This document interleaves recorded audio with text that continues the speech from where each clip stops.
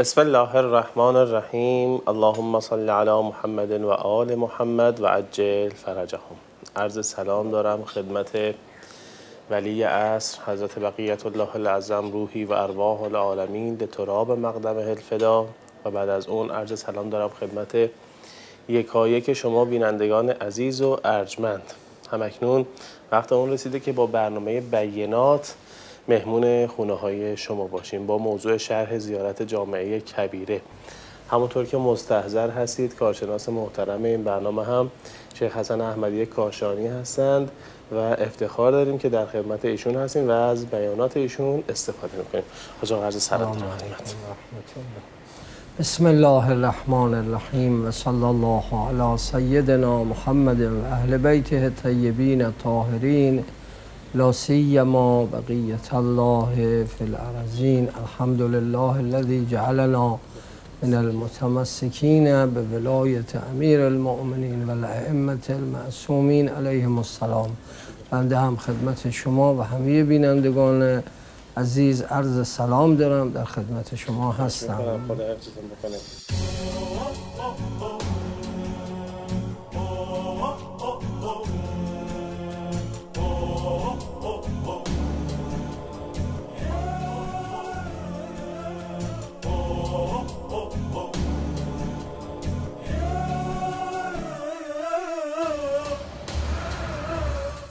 آقا خب با همین مطلبی که ابتدای ام فرمودید الحمدلله الذی جعلنا من المتمسکین به ولایت امیر المؤمنین علی ابن ابی طالب و اولادهی و اهل بیت الطاهرین. مشخصه که ما بحثمون حول بحث ولایت هستش ولایت امیر مؤمنان علی ابن ابی طالب و اینکه در جلسات قبل هم به این مطلب به خوبی اشاره فرمودید که حتی بر این ولایت خود ائمه اطهار خود چهارده نور پاک هم اقرار کردند و هم بر اون آزمایش شدند و بر اثر اون اقرار که در اون اقرار از سابقون از سابقون بودند لیاقت این رو پیدا کردند که این چهارده نور پاک باشند و برتر از همه مخلوقات و خلق. و اما اگر بخوایم بحث رو ادامه بدیم میایم سراغ اثرات این بحث ولایت. ثمرات بحث ولایت. چه اثرات و تأثیری می‌تونه داشته باشه؟ چه در بحث مادی چه در بعد معنوی؟ و اصولا حالا شاید خیلی آمیانه اگر بخوام بگم البته اگر حمله بر بیادبی نباشه فایده این ولایت چی هستش؟ دو فقره ای که سابقا بهش اشاره شد تو زیارت جامعه هم هست. بله. اون خودش بیان کامل و شیوا و رسایی در ثمره این ولایت داره. فاضل فائزون به ولایت کن. یعنی رستگاری رو در زیارت جامعه به این می‌دونه که انسان پذیرای کامل ولایت پیغمبر و امیر مؤمنان و اهل بیت اسمت و طهارت باشه. و علا من جهد ولایتکم غضب الرحمن. در عدم پذیرشش هم غضب پروردگار عالمیان برش قرار گرفته. حالا سخن سرینه که این چه سمره ای داره بله. چه آثاری تو عالم امکان این ولایت به جای گذاشته یه مطلب بلندی است. برای ورود این مطلب من باید عرض بکنم که بدون تردید به هیچ تو عالم بی جهت چیزی نمیدن دقیقا لیس للانسان الا ما سعا این تلاشش هم محوریتش بندگی خداست و عرض می‌کنم شناخت خدا و انبیاء الهی و اوسیاء و جانشینان اونها و آقایی و سروری اونها به مجموعه عالم امکانه. بله. یعنی همون ولایت. بی جهت به کسی چیزی نمیدن. همون جوری که از بندگی خدا کردن آثارش اینه انسان معرفتش به خدا بیشتر میشه. هر چقدرم انسان در برابر زوات مقدسه محمد و آل محمد علیه السلام کرنش کنه کوچکی کنه تواضع کنه فروتنی کنه در برابر آقای و بزرگی اونها خدای عزوجل به انسان چیزی میده. و حالا این آثار رو اگر ما بخوایم پی بگیریم باید از همون کانون اول و خود ولایت پی بگیریم که اثر حقیقی عرض می‌کنم خود وجود ولایت چیه؟ خود آقایی و بزرگی و عظمت نور جلال عظمت و ولایت تو عالم امکان چه اثری داره؟ ما معتقدیم که اثرش اینه که سبب وجود عالم شده. ما گفتیم کسی قابلیت آفرینش نداشت و نخواهد داشت مگر اون نور کامل تمام و همون حقیقت نور ولایت. پس خودش سبب وجودی عالمه. بله. یعنی لولا اینی که خدای عزوجل نور اول کاملی رحمت واسعش رو نیافریده بود. کسی دیگه قابلیت آفرینش نداشت. پس خلق آفریده شدن فقط به خاطر ولایت امیر المؤمنین و به خاطر ولایت آفریده شدن. تو این معنا وقت اینو باید لابلای ادله پیدا کنیم. مثلا اگر خطاب حدیث قدسی است به خاتم پیامبران لولاک لما خلقت الافلاک. بله. لولا علی لما خلقتک. لولا فاطمه لما خلقتکما. این نشان میده که محور حقیقی آفرینش باید وجود خاتم انبیا و امیر مؤمنان و فاطمه زهرا که اونها تبلور و جلوه نور جلال و عظمت و ولایت حضرت حق هستن باشن بله. تو شما رو اگر نمی آفریدم علی رو هم نمی آفریدم و اگر شما و امیر مؤمنان رو نمی آفریدم به خاطر فاطمه از شما رو آفریدم. شما دوتا رو آفریدم. سفره عالم رو پهن کردم از مجرای مشیت و قضا و قدر و اینها خلق رو آفریدم و به شما واگذار کردم. به این معنا که شما هر گونه دخل و تصور تصرف با اون ولایتی که من به شما عطا کردم در خلق انجام می‌دید. لذا میگیم لولا الحجه مساقت الارض. ساقت الارض به اهلها. یعنی خودش محوریت داره. اگه نباشه عالم باید واژگون یعنی معنی پیدا نمی‌کنه. وجود عالم بدون حجت خدا هیچ معنا و مفهومی نداره و از اونجا که وجودن بله. از حیث اینکه بخواد اصلا پیدا بشه چون قابلیت پیدا شدن نداره. و از اونجا که خدا کار عبس هم انجام نمیده در حقیقت حکیمه. حکیم هرچه انجام میده بر اساس حکمت و هست دانش خودش است. وقت لذا فهمیدن نحن سبب الخلق. و سبب تسبیحه. هم ما سبب و جهت آفرینش قرار گرفتیم. بله. و همین که راه بندگی نه خود بندگی نه از تسبیح و تقدیس و تحلیل و تمجید رو هم مخلوق از ما باید بیاموزه. پس بنابراین عامل پیدایش به فرمایش امام عسکری علیه السلام ان ولایت علی و پیغمبر و اهل بیت اونها و ما دیگه القرض الاقصا و المقصود الاعظم یا اعلا. فرمود ولایت امیر المؤمنین بالاترین انگیزه است. مقصود از آفرینشه که اگر اون نبود ابدا خدای عزوجل خلق رو نمی آفرید در حدیث کسا یه فقرش جملات عالی است که اونم اشاره می‌کنه به علت غایی آفرینش که انگیزه خلقت ولایت امیر المؤمنین محبت امیر المؤمنین و اهل بیت اسمت و طهارت. ما همیشه اشاره کردیم. چرا میگیم امیر المؤمنین ولایت علی؟ چون امیر المؤمنین شناسنامه ائمه معصومینه.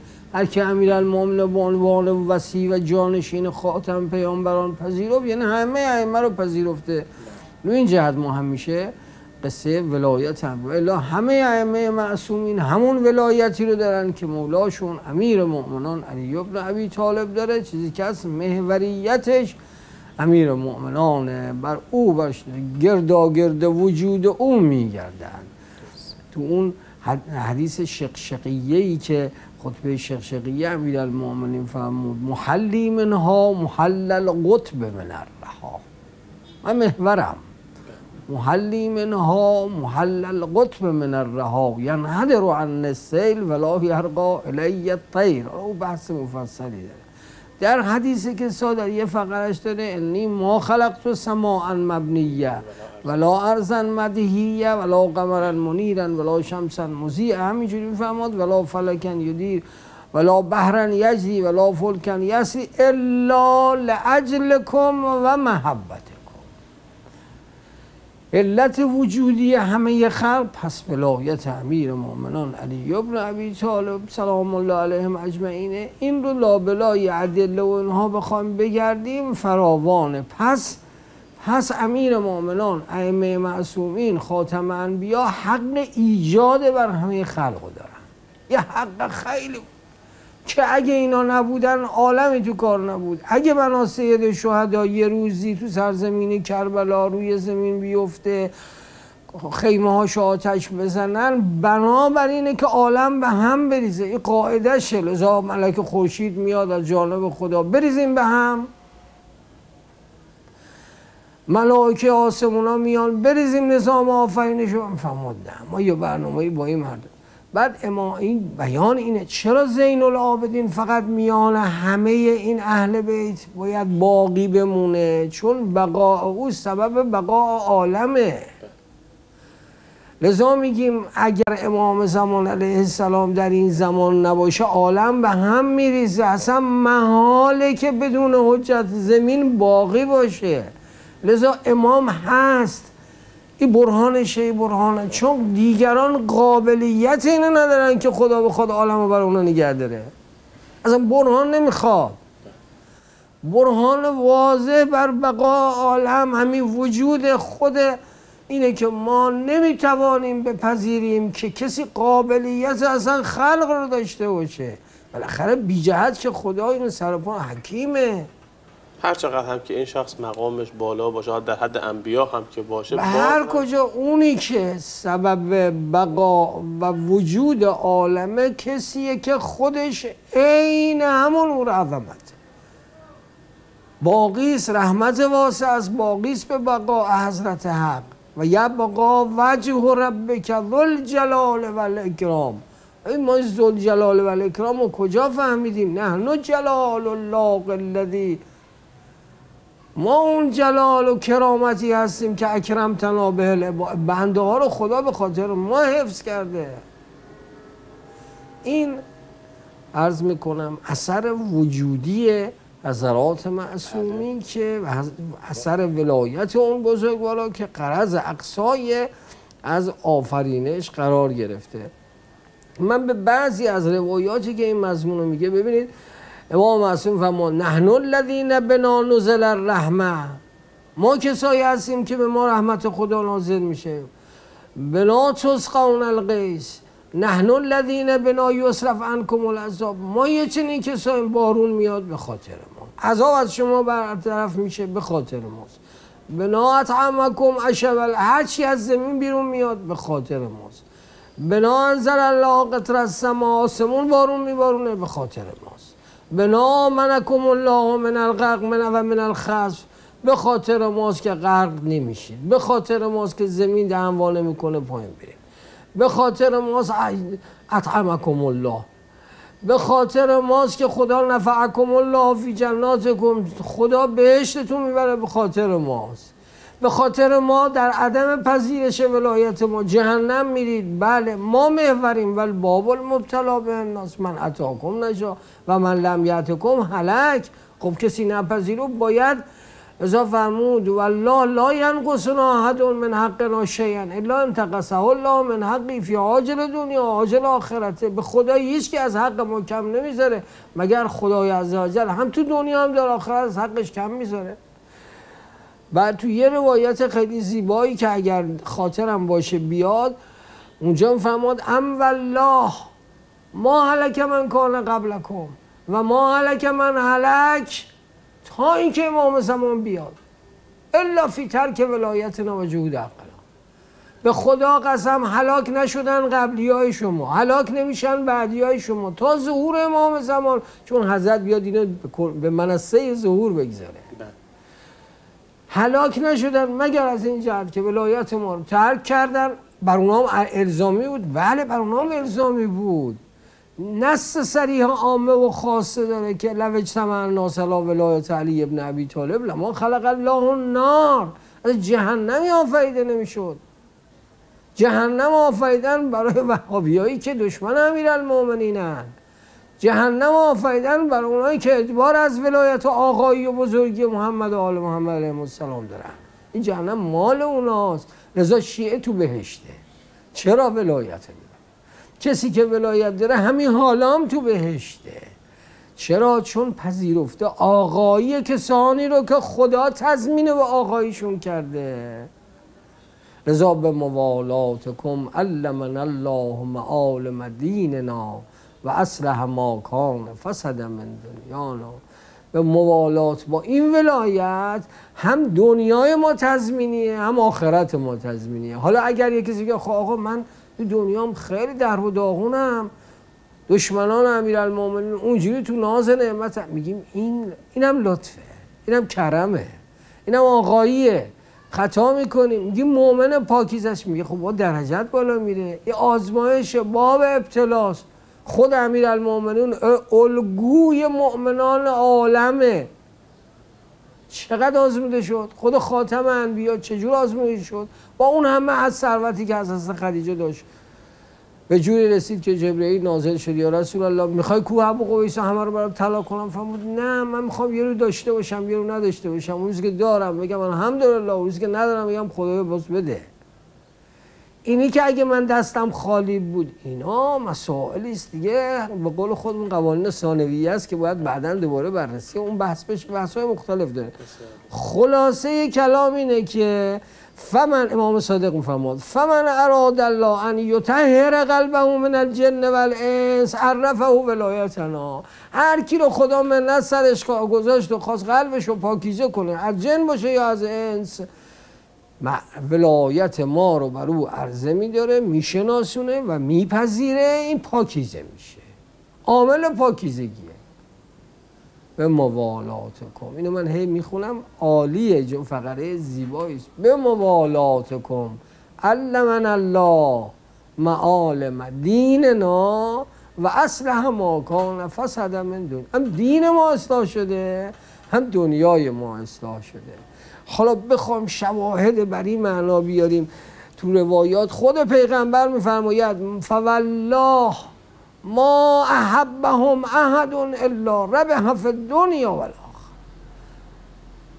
یا ایها الذین آمنوا هل ادلکم علی تجارت تنجیکم من عذاب علیم؟ تؤمنون بالله و رسول ایمان چیه؟ ایمان جز ولایت امیرالمومنینه اون اسلامه که میگن ادعا می‌کنن ما مسلمانیم ما معتقدیم که اگه ولایت نباشه اسلامم فایده نداره. چون یه مرکب ارتباطی است که نه تنها جز اخیرش بلکه این مرکب ارتباطی که و ولایت محوریت او داره باید تمام این مرکب رو بگیره. بنا به نصایح شریفه که فهم الیوم اکملت لکم دینکم و اتممت علیکم نعمتی و رضیت لکم الاسلام. برای افرادی که در حقیقت بعد از بله اون اتممت علیکم نعمتی و رضیت لکم الاسلام دینه یعنی اون اون بره بله. الان می‌خوان کامل بشه دینتون دینتون باید ولایت داشته باشید در این مرکب ارتباطی اگر این جزء اخیری که پیغمبر تو قدیر قدیر نفرمود که از انظر اشیرت کل اقربین فرمود ولی همینو اگر بخواد حالا الان برای امام تحقق پیدا کنه این باید گردا گردیم محلی منها محل القطب من الرها محورشه. رضا وحدت با اون کسی که این محور رو نداره گردش نمیشه گشت. و تصمو به حبل الله جمیعا ولا تفرقو این محور رو می‌خواد. محورش همینه. بنابراین ما احبهم احدون مگر اینکه سودش با اون آیه تجارت. هم تو دنیاست هم تو آخرت. اینا آثارشه. چه آثاری داره؟ باز پیغمبر میفرماد من رزقه الله حب الائمه. کسی رو که خدا اینو بهش عطا کرده میفرماید فقط اصاب خیر دنیا و الاخره این که فرمود پیغمبر خدا حب علی ابن ابی طالب حسنتون لا تزر معها سیعه و بغض علی ابن ابی طالب سیعتون لا تنفع معها حسنه.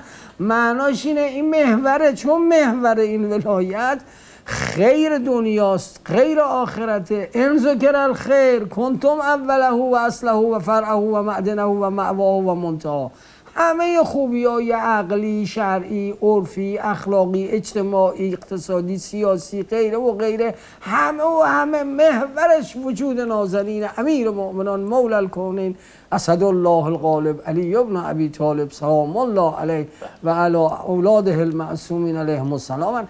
این بزرگواری که این آقا خودش محوریت ولایت داره شده عین الله اذن الله قلب الله جنب الله وجه الله علم الله بله. نفس الله. دیگه بالاتر از این میترسه آدم یه چیزایی رو بگه. پس جا داره حقیقتا اینجا به برکت این ولایات و این نعمتی که خداوند به ما داده یک صلوات محمدی انشالله بفرستیم و دوباره به بحث برگردیم. اللهم صل علی محمد و آل محمد و عجل فرجا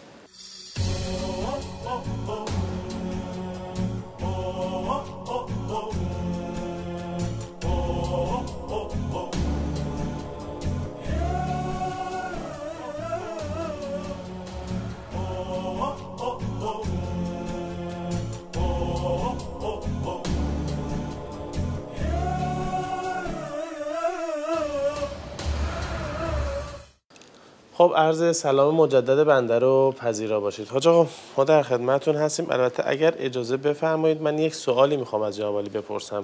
در راستای همین اثرات و ثمرات ثمره ولایت امیر مؤمنان علی ابن ابی طالب علیه السلام. خب اینطور که جناب عالی میفرمایید و کلام شما کلامی جز کلام اهل بیت علیهم السلام نیست که ولایت امیر مؤمنین علی ابن ابی طالب علیه السلام و این چهارده نور پاک در حقیقت هدف از خلقت هستش و اصلا خدمت آثار بندگی خدا در این هستش که انسان معرفت به خدا داشته باشه و سبب وجود عالم هم ولایت اهل بیت علیهم السلام هستش. در این شکی نیست. حال که این همه ثمره داره این قبول ولایت می‌خوام این رو بپرسم که چرا برخی از انسان ها الان در این دنیا این ولایت رو قبول نمی کنند و حتی حالا قبول نمی کنند هیچ برخلاف و بر ضد اون شروع می‌کنن به فعالیت کردن و دشمنی هم می‌کنن با این ولایت. این توضیح اگر پاسخ این رو از چند دیدگاه میشه جواب داد. یه دیدگاه ما خود دنیا. قفلت جهل نادانی. کسی که معلوماتش خیلی زیاده. تو همه چیز میره دنبال معلومات. خب یه خوردن بیا امام تو بشناس. یه مقدار بیا ببینم کجا باید بشناسی. امام شناسی تو قوی کن. وقتی معرفت بالا آمد وقت این شبهات و این پرده های جهل کنار میره. این از این دیدگاه دنیایی ما بخوایم به این نگاه کنیم ببینیم آقا این دنبال همه چی میره الا که این معرفتشو بالا بیاره. خب این معرفت به یک برهان محکمی نیامده. برهانی بهتر از خود قرآن. هنالک الولایت لله الحق. ای ولایت علی ابن ابی طالب. عامه و خاصه دارن. انما ولیکم الله و رسوله. عامه و خاصه دارن. برهان عقلش ما اقامه کردیم. بابا ما قابل این نیستیم که خدا ما رو بیافنه اون کسی که خلیفت الله از جانب خداست به نست کنوم از صادقین با اینا باید باشم؟ بله. اونا کیان؟ نه که اسمت دارن نه که خدا معرفیش می‌کرده. آقا این دیگه دو دو تا چهار تا میشه دیگه. خب این مال اینجاش. وقت ظلمت دنیا و حب دنیا و زر و زیور دنیا و ابزار دنیا سبب شده قفلت گرفته عمر نصف عمر بشه خوابه نصفش هم دنبال عیاشیه نصفش هم دنبال دنیاست. دیگه وقتی نداره که که بخواد بپردازه. این عامله عامل دنیایشه بعدم گناه معصیت ولا امیر پیغمبر خدا امیر مؤمنان اهل بیت اسم حق وجودی دارن حق حیات دارن حق بقا دارن حق ایمان دارن حق اسلام دارن حق هدایت دارن حق نمک دارن حق بر همه چی دارن. اصلا حق آبنون دارن به قول خودمون به ما یعنی حق این دارن که بابا ما چشمون رو وا کردیم بینیم از کدوم کانون ما سیراب شدیم. بشریت از ملیتی ندارد جز ملیت انبیا ملیتش اینه که فرهنگش از خدا گرفته. فتلقا آدم و من ربهی کلمات. کجا آورد باباهای ما؟ از کجا آوردن بابا آدم ما؟ محوریتش از کانون انبیا و اوسیا و اولیا. خداست تا رسیده ما عقل ما رو شکوفا کردن عقل ما رو شکوفا کردن. حرفی می‌پرسن بعضیا. میگن که نمی‌تونم پاسخ اینو سوال مطرح کنم یا متفرقه است. یعنی حرف خارج از بحث ماست. چه کنم؟ دیگه پرسیدید شما. میگن که خب اگر عقل نور حجته پس ما چه نیازی به پیغمبر؟ بله. چون حرف عقل اگر حرف پیغمبره خب ما خودمون عقل میدیم. و اگر حرف عقلی که نوره خدا چراغ سر ما قرار داده چراغ وجود ما قرار داده مخالف حرف انبیاست. خب انبیا چی چی میگن دیگه؟ پس ما نیاز به انبیا نداریم. ما میگیم بابا عقل حجت نور هدایتگره. اما این عقل در بدیهیات و ضروریات و مثل زدن یتیم و مثل احسان به بیچاره و فقیر به درد می‌خوره. برهانهاش اینجوریه. احکام عقل که همه جا منتج نتیجه نیست. کجا احکام عقل به درد می‌خوره؟ تو بدیهیاتی که روشن احکام اون جایی که نمی‌دونی احکام عقل همه مختلفه. تو رو نجاتت نمیده. در نتیجه باید بری مراجعه به کی کنی به کانون انبیایی که قوه اسمت دارن و یه سر عقل کلن کل عقلن به خدا منتهیگر از این باب بیایم بیرون.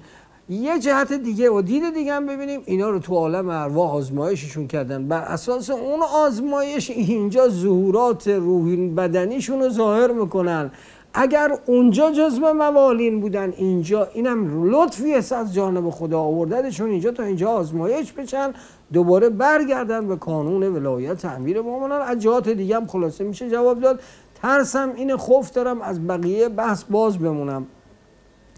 آثار و ثمرات فراوان دیگه ای که تو روایات داره پیغمبر به امیر فرمود بشر شیعت کرد شیعیانت رو بشارت بده. به چی؟ به اینکه اگه از موالین و دارای ولایت امیر المومنین هستید یک تیب المولد.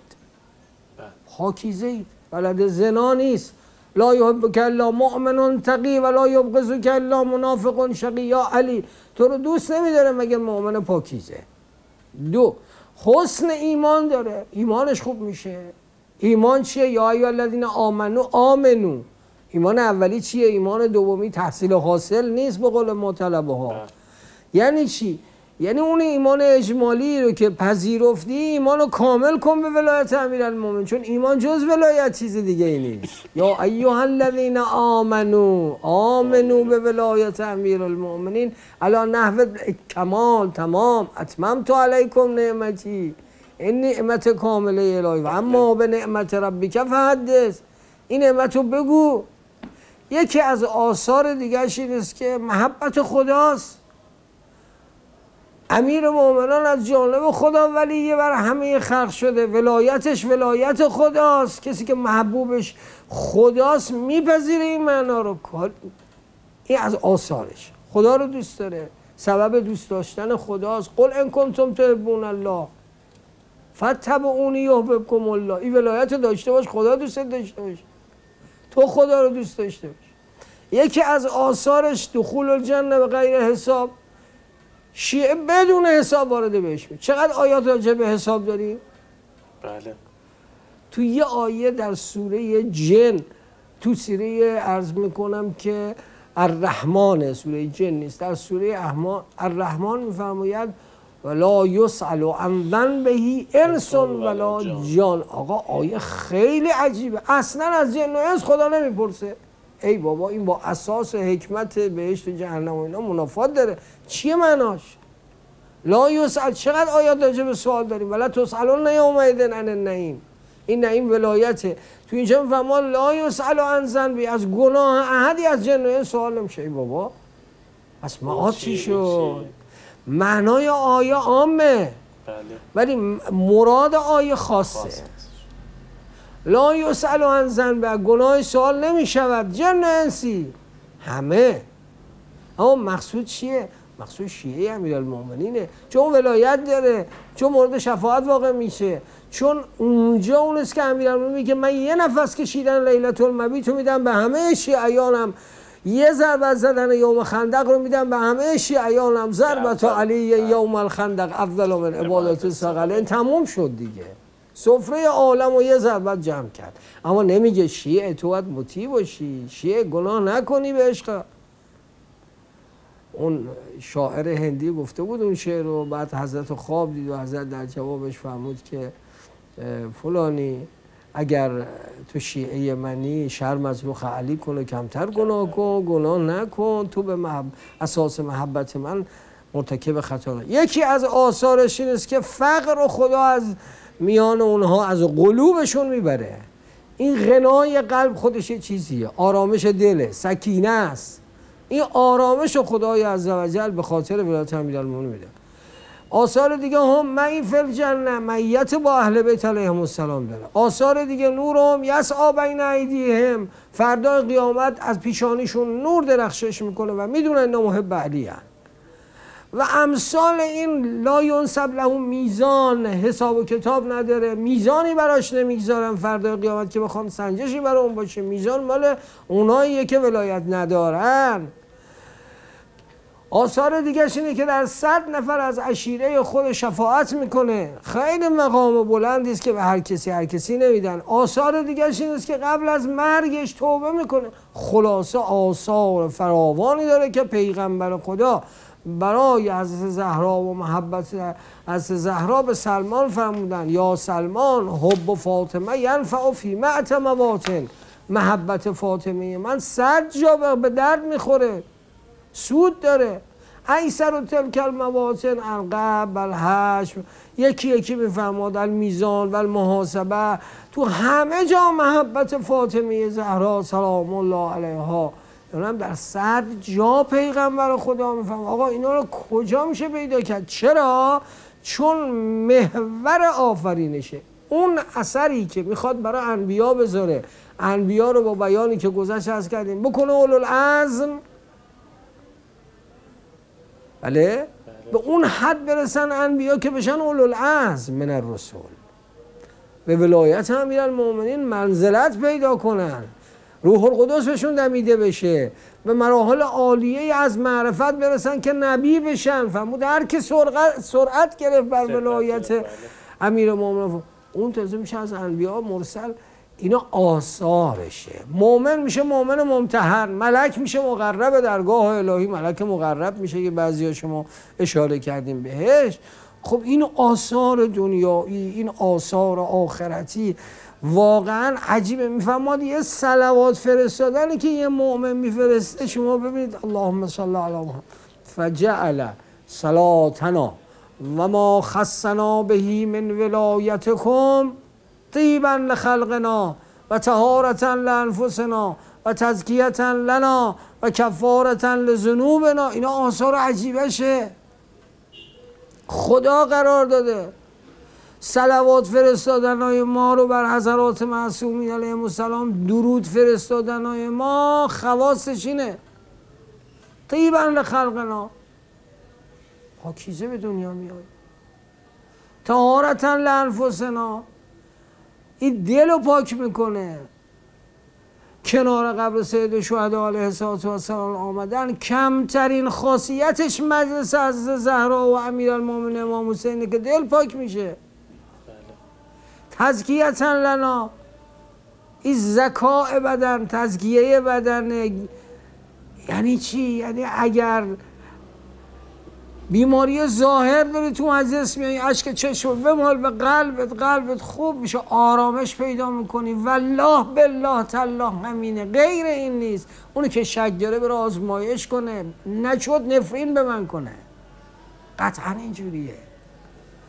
آرامش چشمه. اون همه فرمودن اشک چشم به چشم مولن چشم روشن میشه. آقا قصه های عجیبه. من نمی‌خوام قصه بگم من می‌خوام روایات بگم. ولی هرچی منتصب شد در خانه خاندان اسمت فقط انتصاب رو پیدا کرد. تمومه. چی شد؟ چی ایان امیر المومنین چطور اینطور؟ این سستی در عقیده این بیاعتقادی این هرج و مرج اعتقادی عاملش اصلا چیه؟ علم روز هم به این مطلب رسیده. یعنی حالا جدای از این مباحث که نور هستش کلام اهل بیت علم هم به این مطلب رسیده که قلبی ساریه. اصلا توکل به خدا در حقیقت استعانت از خدا و در حقیقت همونطور که در قرآن الا به ذکر الله تطمئن القلوب که ذکر خدا چیزی ذکر اهل بیت هم هست در حقیقت منافاتی با هم نداره. خواه ناخواه باعث برطرف شدن بسیاری از بیماری های صعب العلاج هم میشه حتی در مورد سرطان در مورد بسیاری از بیماری های صعب العلاج آزمایش های علمی صورت گرفته که نتایج بسیار شگرفی داشته در این شده من میگم مثلا چیزی که منتصب به شماست. آقا منبر رو میبوسه. یه قند تو مجلس رو می‌خوره. در مسجد رو از ایمان میبوسه. محب اهل بیت. دوست داره. میبوسه میگه به این نیت میبوسم که خدا منو شفا بده. آقا اینا آثارشه. اگه این اثر رو نداشته باشه سودی نداره منفعتی نداره. منفعت اینه که هر چی وابسته در خانه اهل بیت شد آثار خودشو بگذاره. تازه شفا گرفتن. اینا آثار دنیویش هست بگذاریم از نگاه آثار میفرما. نگاه به سادات جلیل القدر بن زهرا نگاه می‌کنی چشمت نورش زیاد میشه. اه. آقا این نگاه من چه- چه, تأثیر روی چشمم می‌ذاره؟ چه رابطه قلبی با من داره؟ میگه تو تربت تربت که چیزی نیست. ببین من یه اثر تربت رو عرض بکنم. بله. آیه شریف میفرماد فقبضت و قبضتا من اثر بله، الرسول. بله. قصه راجع به اسب فرعون. وقتی لشکر ریختن تو دریا و لشکر رو رد کرد. حضرت موسی اسب حضرت موسی و بله. سامری. فرمود فرعون. بعد فرعون. فرعون وقتی خواست بره ریختن تو دریا نمی‌رفت اسبش. بله. اسبش تو آب نمی‌رفت. خب آب جلو بود. چجوری می‌خواست دوازده رو آبی درست شد و بنی اسرائیل رد شدن؟ اون بر آخر این و فرعون می‌خواد وارد شه. بله. لشکر نمیره. فرعون خودش پیش قدم شد اما اسبش نمی‌رفت. تو آب نمی‌رفت. بله. چون آب اومد دیگه. فلفل جبرئیل اومد. اون سوار اسب نر یه اسب ماده جبرئیل سوار شده اومده. اسب نره به خاطر اسب ماده زد تو دریا. جبرئیل اومد اونور اومد اونور فرعون و لشکر اومدن تو دریا همه رو غرق کرد اومد اونور وقتی اونور اومد سامری نگاه کرد زیر پای اسب جبرئیل داره خاک حرکت می‌کنه. گو عجب این خاک به درد من می‌خوره. خاک اونجا رو برداشت. قبضت و قبضتن من اثر رسول یعنی اون اثر خاکی که از این رسول یعنی فرستاده خدا بود. من می‌خوام این کلمه رو تربت معنا کنم اعتقاد شیعه رو قوی کنم. از قوی الحمدلله الذی هدانا لهذا. هیچ شکی در این نیست. تربت حجاب های هفگانه رو پاره می‌کنه ما رو میرسونه میگه بابا این تربت مال بهشته رفعت به تربت نورانی یوم القیامه. عرض می‌کنم که قبض و قبضتا من اثر رسول قبضه رو ورداشت و وقتی سامری اون گوساله رو درست کرد با همین خاک بله. زد به اون گوساله ریخت تو اون و گوساله شروع کرد حرف زدن و حرکت کردن و سبب گمراهش وقتی یک مش خاک زیر پای اسب جبرئیل زنده کنه وقتی گوشت گوساله تو میون بنی اسرائیل جوان مرده رو زنده کنه تربت سید و شهدا که آغشته به خونه پسر پیغمبر خاتم انبیاس زنده نمی‌کنه مرده رو شفا نمیده. هاشا و کلا مگر کسی در دلش چیزی باشه که باید بره خودش رو شفا بده؟ خلاصه آثار سلوات چنینه. آثار گریه چیه؟ آثار زیارت چیه؟ چقدر آثار عجیبه ای برای زیارت سید شهدا علیه و گریه برای سید شهدا که ما فقط اگه بخوام مجلسمون رو فقط و فقط منتقل کنیم به آثار گریه بر سید شهدا و یه مجلس راجع به این فقط صحبت کنیم. آثار زیارت سید شهدا علیه و السلام چه آثار عجیبه ای رو از جهت زائر از جهت خود زیارت از جهت خود سید شهدا در این زیارات وارد شده که میفهمون ظاهر سید شده یه حج بهش میدن دو حج بهش میدن هزار حج بهش میدن صد حج بهش میدن حج پیغمبر رو میدن حج عمره بهش میدن حج مقبول پیغمبر رو بهش میدن با عمرش. آقا چه آزاریه؟ هزار ثواب هزار شهید بهش میدن ثواب هزار صدقه مقبول بهش میدن ثواب های نمی‌تونم قائم و صائم و روزدار بهش میدن. چه پاداش هایی که اصلا از حرق و غرق و اینا نجاتش میدن. آثار عجیبه ای که برای اعمال خوب مطرح کردن. نه این تو زیاد سیده شده اون که قوقاست میشه محدثت الحسین سر خانه کریمانه ابی عبدالله که نشست. اینا آثار عجیبه. خود زیارت سید شهداست. مورد, مورد الطاف شاهانه اولی نعمت ما. امیر مؤمنان قرار می‌گیره که امام حسین فرماد بابا جون برای اینا دعا کن. امام صادق سر به سجده می‌ذاره و برای اینها دعا می‌کنه. چه آثاریه. دیشب حرم که من مشرف بودم واقعا خدا می‌دونه یه لحظه کنار قبل سید شهدا از کرده بابا امام صادق برای اینا دعا کرده. یا عبدالله من برای هیچ دعا نمی‌کنم. ولی می‌خوام فقط برای اینایی که اینجا اومدم برای اینا دعا می‌کنم. گفتم یا ابا عبدالله شما از خدا بخوا مریضاشون شفا پیدا کنه حوائجشون رو بده گرفتاریاشون رو برطرف کن اصلاح امر دین و دنیا آخرتشون کن. دونه دونه من برای اینا دعا می‌کنم. یا ابا عبدالله خان کریمانه شما برتر از توصیفه که بخوای توصیف کنی. شما به بهانه اینا رو پذیرفتی. شما که به بهانه اینا رو اینجا آوردی یا ابا عبدالله دنیا و آخرتشون رو خودتون تضمین کنید و آباد کنید. اینه آثار و برکات این زیارتی که من با هیچ عدم قابلیت بدون هیچ گونه آماده این لطف شماست که بفهماد خستنی من از به من مخصوص کردی. روایات فراوان خلاصه در بیان این مطالب عالیه و بلند.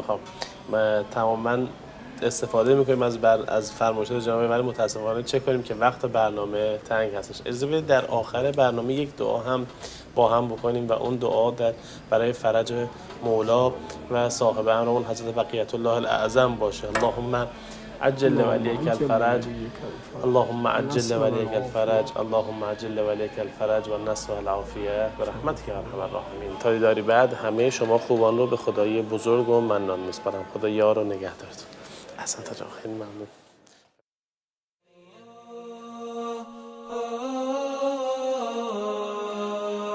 Oh.